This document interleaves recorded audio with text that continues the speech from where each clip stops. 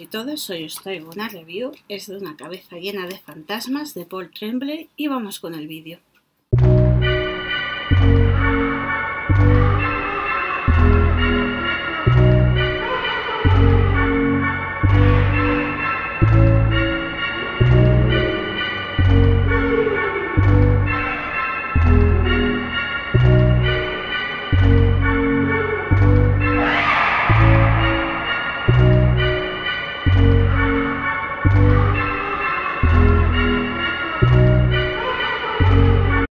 De Nocturna Ediciones, tapa blanca sobre cubierta.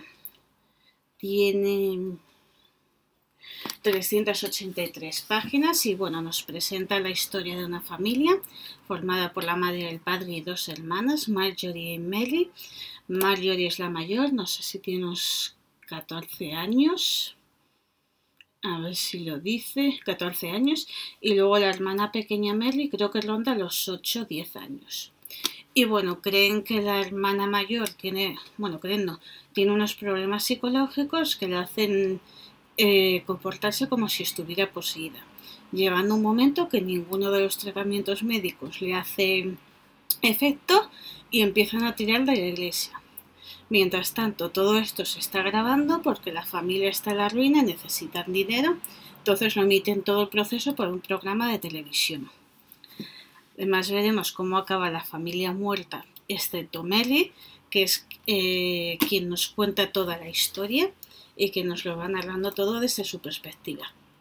A mí es un libro que me ha encantado, me ha parecido una manera muy distinta de contarlo, porque normalmente siempre se mira desde el punto de vista o bien del investigador o bien de la propia poseída o poseído y en este caso lo vemos desde una tercera persona que es la hermana pequeña en este caso con lo cual además tiene 8 o 10 años con lo que tampoco entiende mucho. Pero bueno me ha encantado porque además vemos episodios que son mmm, totales de exorcismos otros que no lo son tantos, pero además me ha encantado porque se hace todo muy televisivo. Me recuerda en algunas escenas al exorcista, la película, ya que el libro no lo he leído, aunque le tengo bastantes ganas.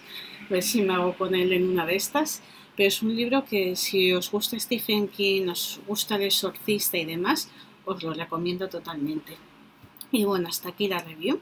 Como siempre espero que os haya gustado, que le deis a me gusta, suscribáis a mi canal y lo compartáis en todas vuestras redes sociales y muchísimas gracias por estar ahí.